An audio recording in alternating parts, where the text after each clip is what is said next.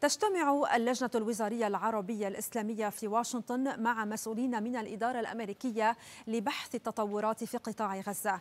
وخلال مؤتمر صحفي مع ممثلين عن المجموعة العربية ومنظمة التعاون الإسلامي في نيويورك أكد مندوب فلسطين ضرورة تبني مجلس الأمن لقرار وقف إطلاق النار في غزة فورا.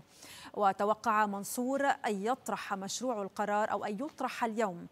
البيت الأبيض قال قبل قليل لسنا قريبين من التوصل إلى اتفاق آخر لوقف الصراع بين إسرائيل وحماس فيما التركيز منصب وفق البيت الأبيض على ردع التهديدات في البحر الأحمر.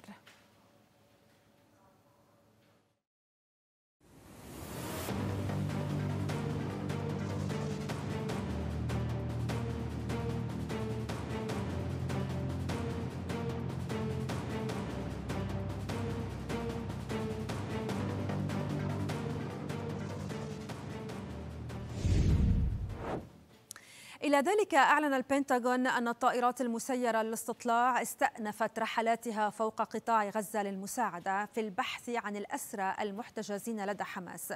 وكانت هذه الرحلات الاستطلاعية قد توقفت خلال الهدنة بين إسرائيل وحماس والتي انتهت قبل أيام.